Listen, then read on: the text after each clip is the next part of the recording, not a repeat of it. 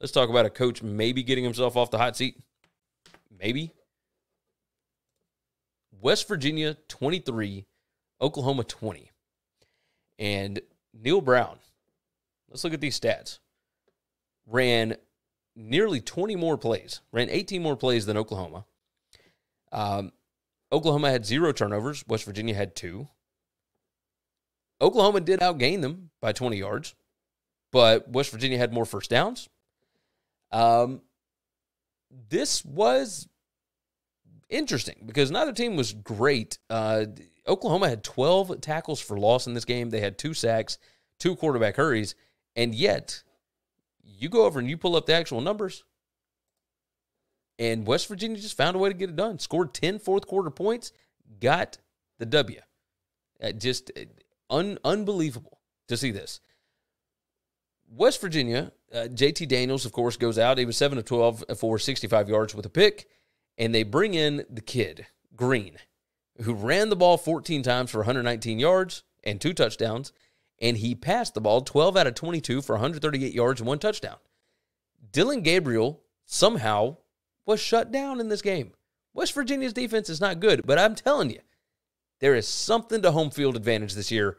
Morgantown is legit. Those fans, while it wasn't like a huge mass, it wasn't sold out, they were still loud. They were still there. They still caused a lot of havoc. Uh, Dillon Gabriel, 17 out of 28, 190 yards.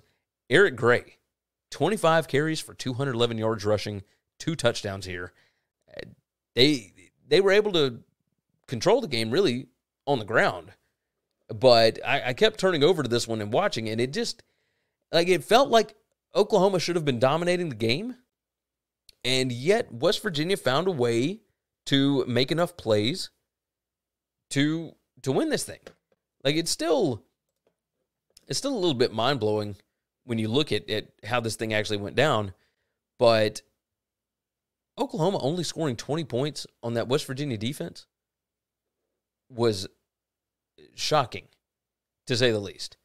Just absolutely shocking. Um, you had a chance, Oklahoma did, late, and and they couldn't capitalize on it. And West Virginia gets the ball with 624 left and goes on a 15 play, 65 yard drive that takes off the full, you know, clock amount, and they kick a field goal to win the game. I mean, this was this was crazy. Absolutely crazy. The Big 12 is nuts this year. Absolutely nuts. Uh, so Oklahoma is now five and five. West Virginia, we don't even have to talk about their record, but uh, does a win like this, even though it is a down Oklahoma, does this maybe does it help maybe keep Neal Brown around one more year? Like, are the fans okay with this? Like, I, I understand the buyout, but there was still a lot of talk about maybe maybe he was going to be gone. Um, I don't know. This was a weird one. This was this was very interesting to me. Uh, just watching how it all how it all went down. Uh, but yeah, twelve tackles for loss for Oklahoma's defense was surprising considering how much they actually gave up in the ballgame. Thanks for listening to Winning Cures Everything. Make sure and subscribe on YouTube or your favorite podcast app, and make sure to leave a nice five star review. You can follow Gary on Twitter at GaryWCE, and the show is at Winning Cures. Be sure to check out the merch in our web store and share the show.